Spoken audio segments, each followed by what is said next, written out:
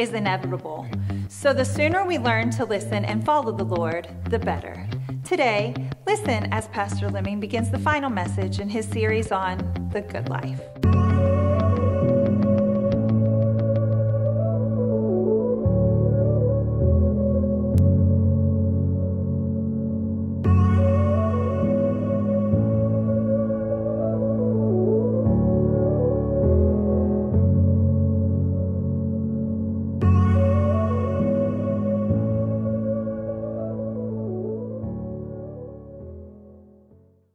This is our 12th message from the 12 chapters of the book of, of Ecclesiastes. And this is the last message uh, from this series of messages. And I want you to follow along with me as we talk today from this very last uh, chapter.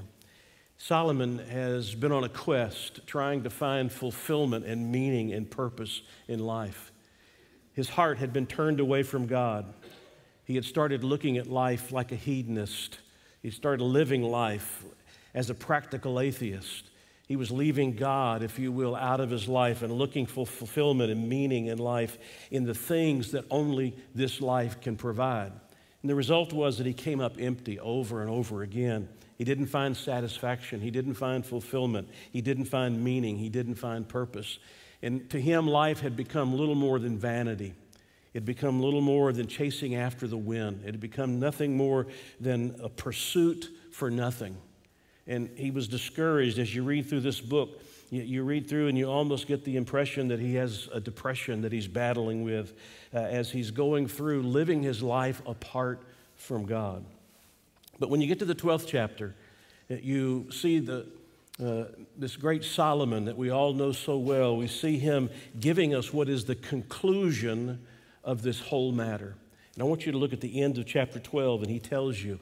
So let me just go to the end of the book, the last chapter. Let me tell you how it concludes, and then we're going to go back and we're going to work our way back to this section. He says in verse 13, Let us hear the conclusion of the whole matter. Fear God and keep his commandments, for this is man's all. For God will bring every work in the judgment, including every secret thing, whether good or evil. In essence, he says, after all that I have tried, after everything that I have investigated, after all of the things in which I have involved myself that have brought me nothing, that have lacked fulfillment and meaning and purpose, let me just tell you what is the conclusion. If you want a life that has significance, if you want a life that has purpose, and you want a life that has meaning, fear God.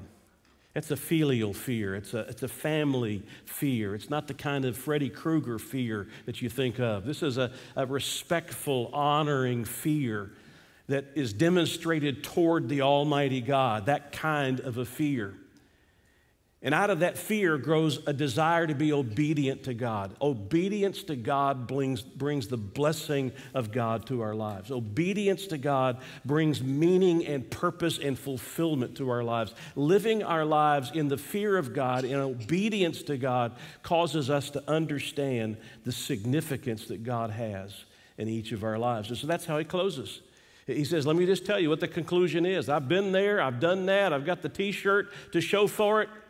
And I can tell you that all of these things that I've tried cannot satisfy you. You'll only be satisfied when you're serving the Lord and when you're honoring God with all of your life. And so that's how he's going to end this book.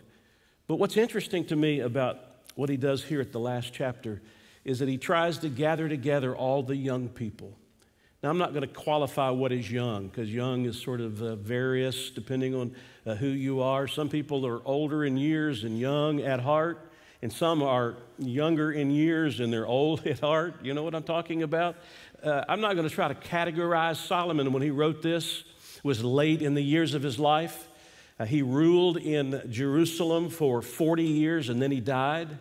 It's commonly believed that he was about 20 to 25 when he came to power, so he would have been 60 to 65 years of age uh, when he was writing these words and when he came to that place of meeting his Maker. And so you, you, can determine what might be young, but I would suggest it certainly involves our young people, our children, and our teens, our college students. It involves those of you that are 20s and 30s and 40s, all of you that are in those age brackets, and even maybe into your 50s and right on up to Solomon at 60. The reality is that all of us need to heed the advice that he has to give because he calls together the young people and he says, Look, I've been there, I've done it, I've got the t shirt listen to me. You're not going to find what you're looking for where you're looking for it. You're only going to find it when you fear God and when you serve the Lord with all of your heart and you obey Him with all of your being. That's the only place that you're going to find the purpose and the meaning of life. And He begins in chapter 12, verse 1, by telling us what He wants us to do, who it is that we should pay attention to, and then when we're supposed to be doing this. Notice, he says, Remember now your Creator in the days of your youth. Remember now your Creator in the days of your youth. What is it he wants us to do? He wants us to remember. He wants us to remember.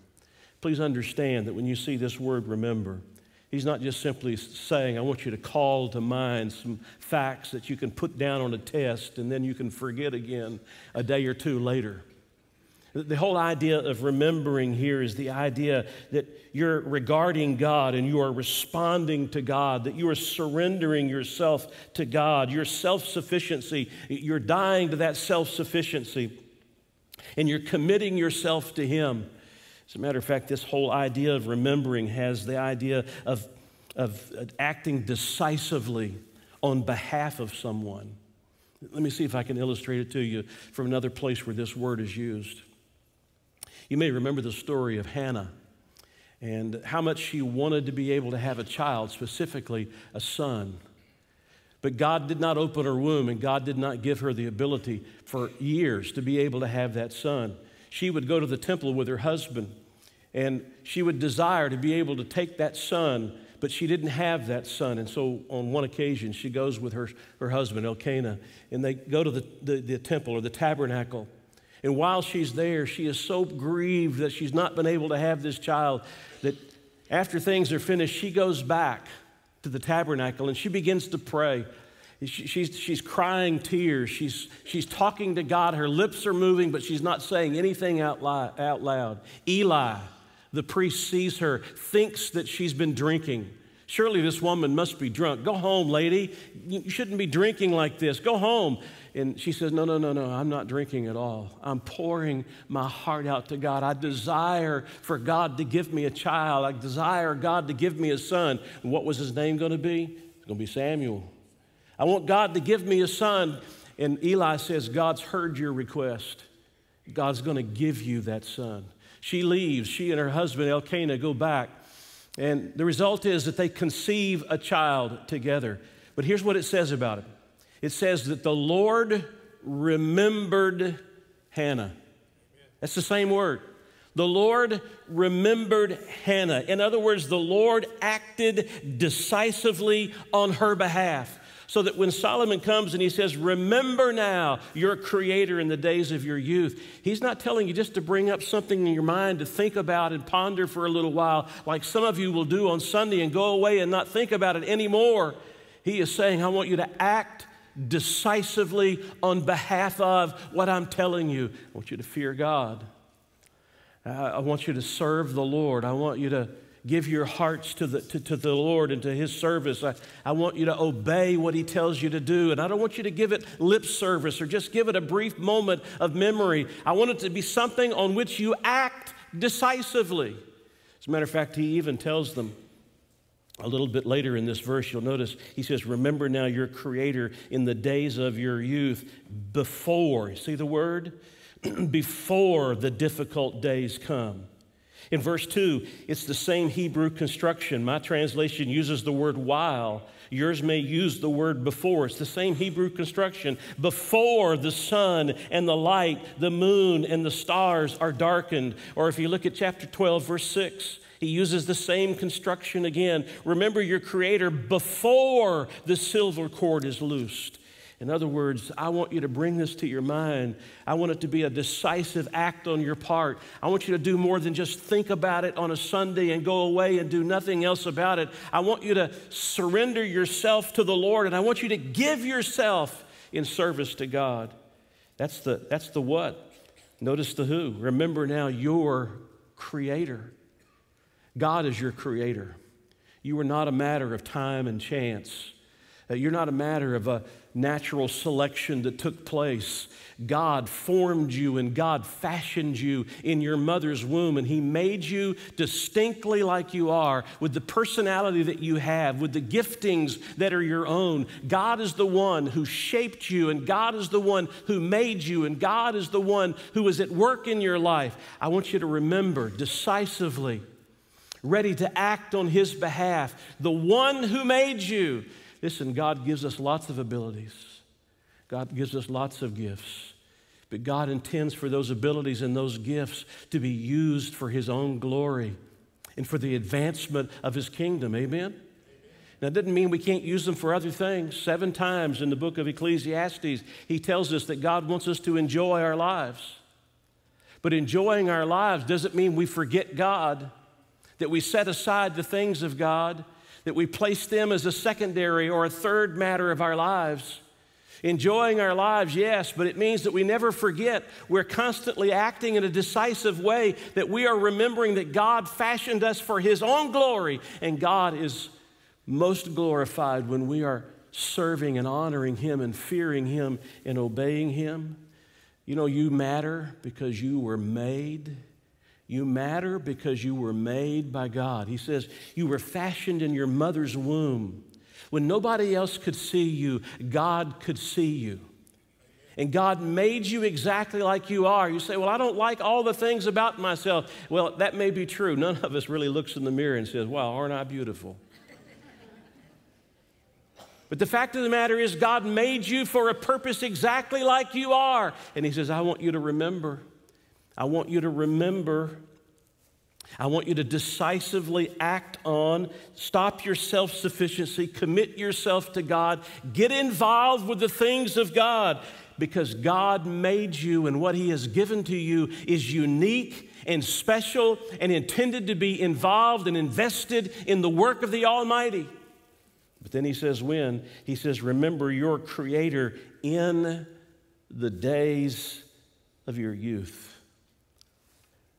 before there are difficulties in your life, before there is the decline of the body, before death comes to visit.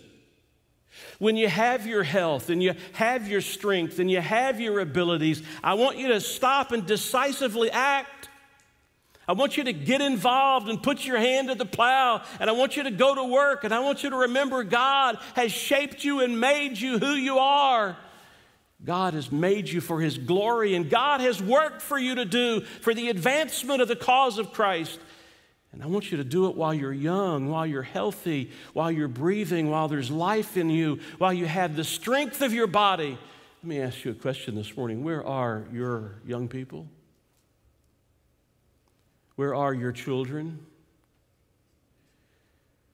Why aren't they sitting here listening to the preaching of the Word of the living God?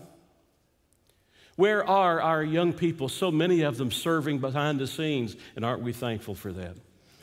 As a matter of fact, there's a lot of technology around here. If we didn't have young people to operate it, none of the rest of us could ever operate it. Got a lot of young people working down in children's church and a lot of young people working in other places. But look, I'm looking at the faces of people, and a lot of us are in my age bracket. Where are the young people?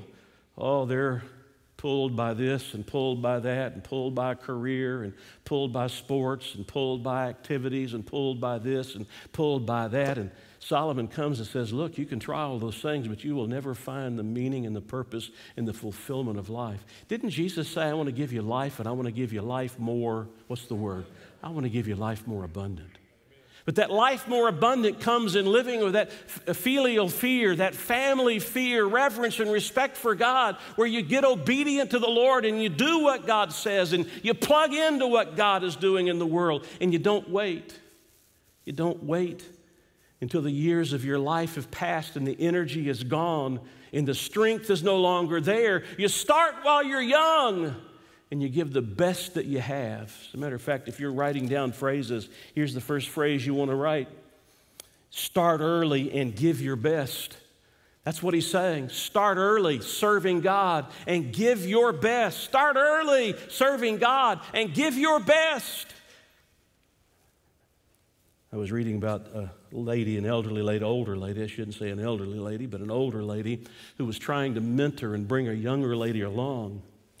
And this young lady was just sort of pushing it aside, this whole matter of remembering now the Creator in the days of her youth.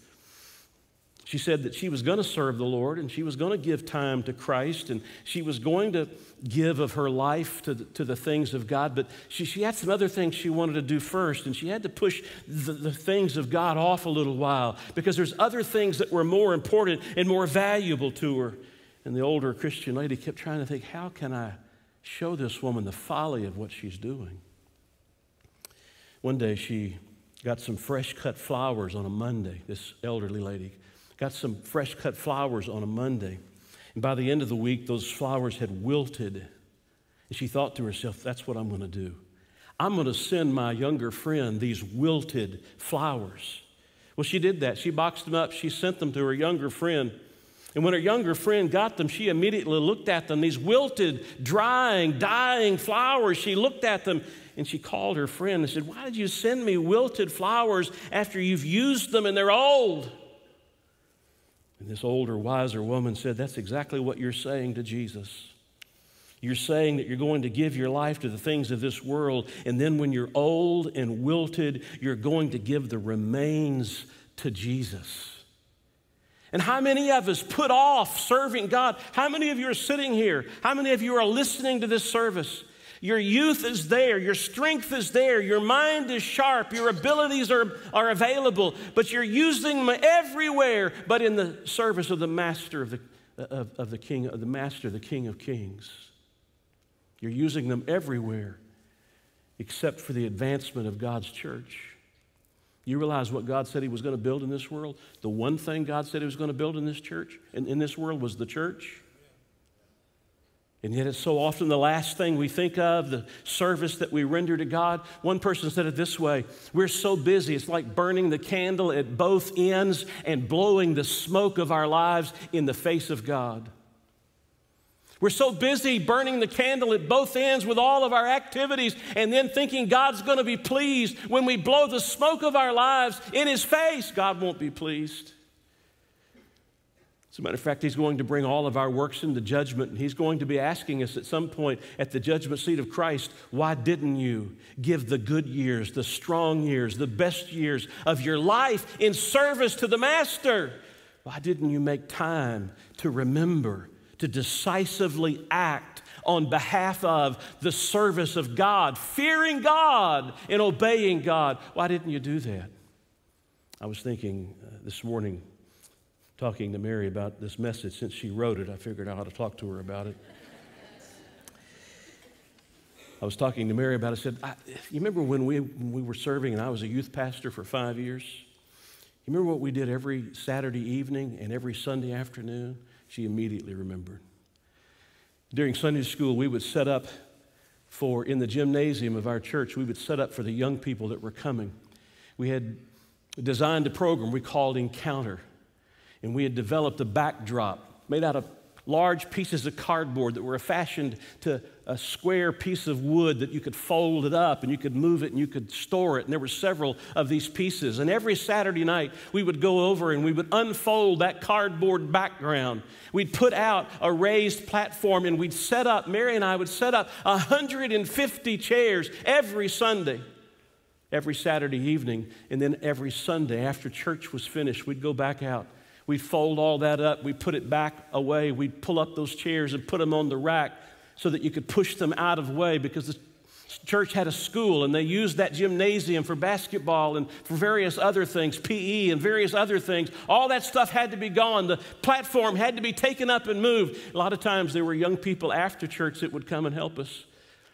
But many times the parents were ready to go home were ready to go eat, and Mary and I would spend till 2 o'clock, 3 o'clock in the afternoon putting those things back up, getting ready so that we could go home with our young children. I look back across those days, those are some of the best days of my life. We worked hard and we worked long, but I can't do that anymore. I have to work smarter than I used to work. I got to be more efficient than I used to be. Why? Because my strength isn't there like it used to be. I can't go as long as I used to be able to go. I can't do as much as I used to be able to do. And that's true for all of us. And Solomon comes and says, Remember now the Creator. Remember, decisively act upon. Stop your self sufficiency. Stop the distractions of your life. Get committed to the service of the Almighty God while you have youth, while you are young, and you can give the strength of your life to what matters more than anything else in life. Now, please don't get mad at me.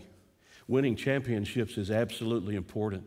There's a lot of things you learn from playing in sports and having, uh, you know, uh, uh, talent contests and uh, having dance contests. There's a lot of things that are absolutely valuable, invaluable by doing those kind of things. But when you stand before the Lord, you're not going to hold your trophy and say, Look what I did, Lord.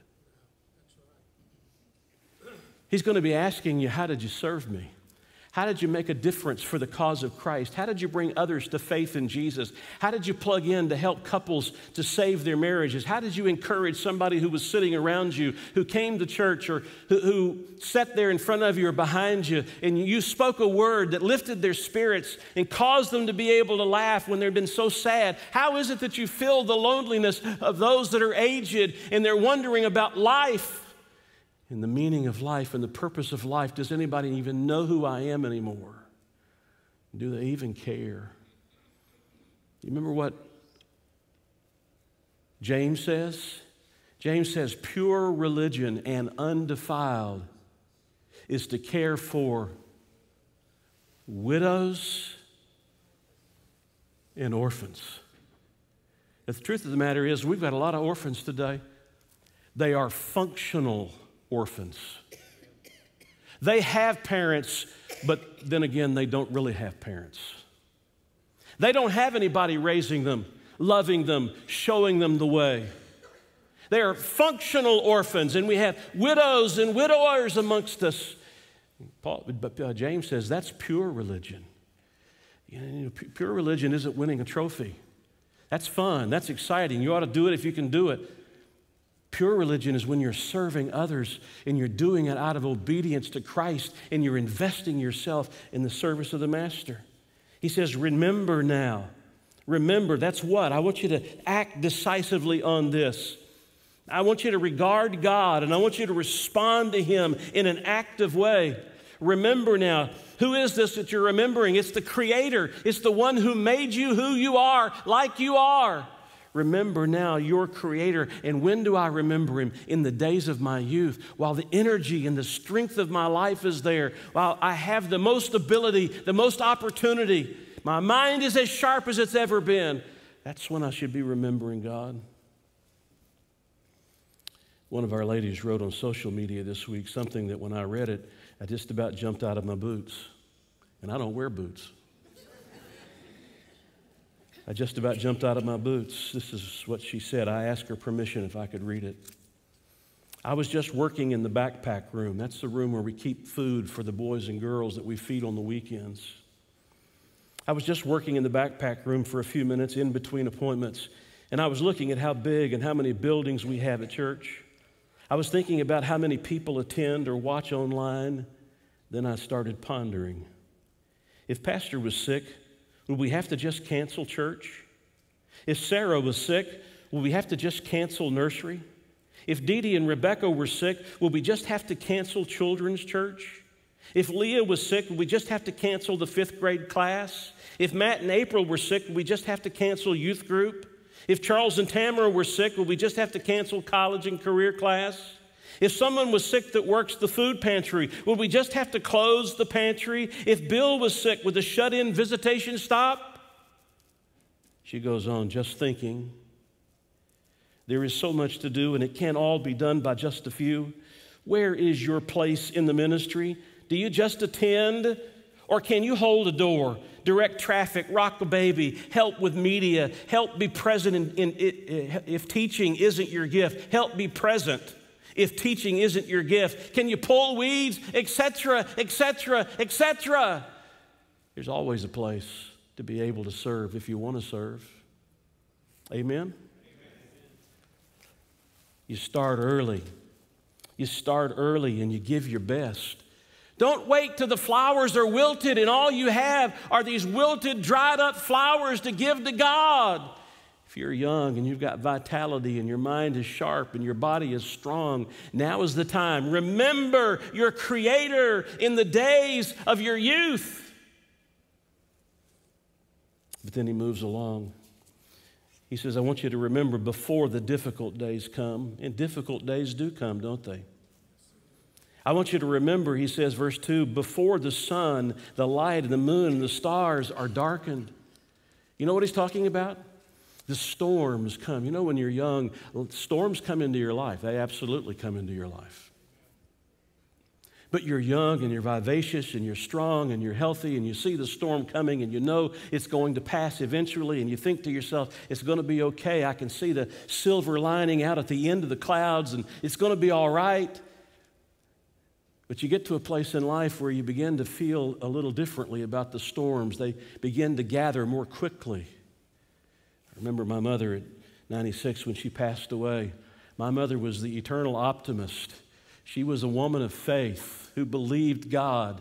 She would never have lived until 96 had she not believed God. But the storms just kept coming and they kept coming more quickly. And the sky didn't brighten between the storms as frequently as it used to brighten until it didn't brighten at all until finally, in those early morning hours, she stepped over into the presence of her Savior. Remember now the Creator in the days of your youth, before the difficulties come, before the decline comes, and the storms start building up, and the light that you used to see or that you saw regularly suddenly isn't seen nearly as regularly, or maybe not seen at all, because one storm after another storm just keeps building up. Thanks for joining us today, and we hope you'll return next week to hear the second part of this message. If you'd like more information about today's message or Lewis Memorial Baptist Church, feel free to contact us. We'd love to hear how this ministry is helping you in your daily walk.